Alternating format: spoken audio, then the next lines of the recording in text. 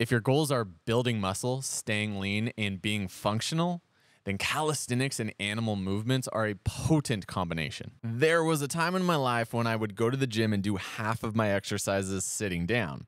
As years passed, this began to seem counterintuitive to me. I'm working out for multiple reasons to increase strength and muscle, yes, but also to get better at human movement. Most people think of calisthenics as exercises done with just your body weight, but the real value to body weight movement is you move your center of gravity. Picture the basic push up and you see the torso moving through the air controlled by the joints.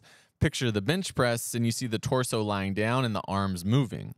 I'm not here to say one is better than the other, but moving your center of gravity leads to the development of multiple qualities muscle growth, balance, strength, and overall coordination. And there seems to be a strong correlation between having control of your body and feeling comfortable and confident in your body.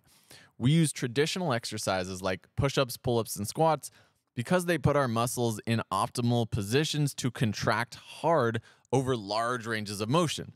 The result is large amounts of relative strength. Relative strength is important because it's our ability to be strong relative to our size. So, whether you're doing pull ups, walking upstairs, or playing with your kids, your strength to weight ratio is always relevant throughout your life. But our time spent training is a small percentage of our life.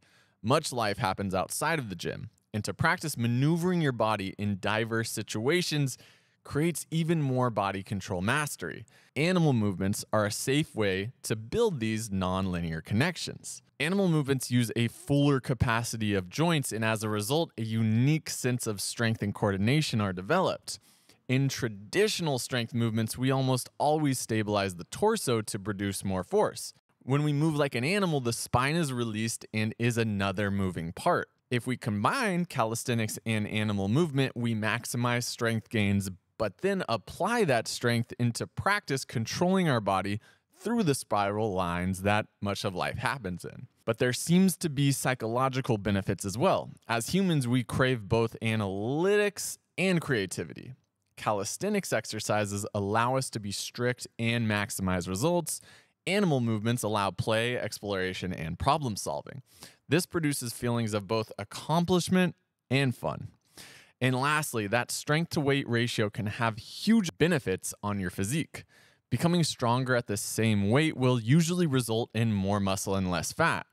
Oftentimes, people who do calisthenics and animal movements have a lean muscular look because their physiques are built by function. And through moving your spine, you develop a more unique aesthetic look commonly seen in athletes. When we are pushing our absolute strength, we want as little variables as possible.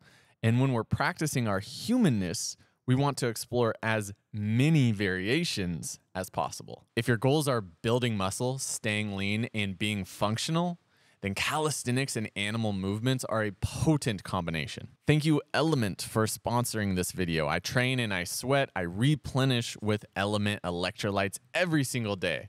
They've become a staple in my routine and overall make me drink more water and stay hydrated. Link below for a free sample pack of electrolytes with your first purchase. I want to shout out K Boges, who I'm a fan of and inspired me into this more simple YouTube video. I'll link to his channel below. I can almost guarantee you'll like it. If you want to learn animal movements from me, you can do it for free with a trial of our membership link in description. As always.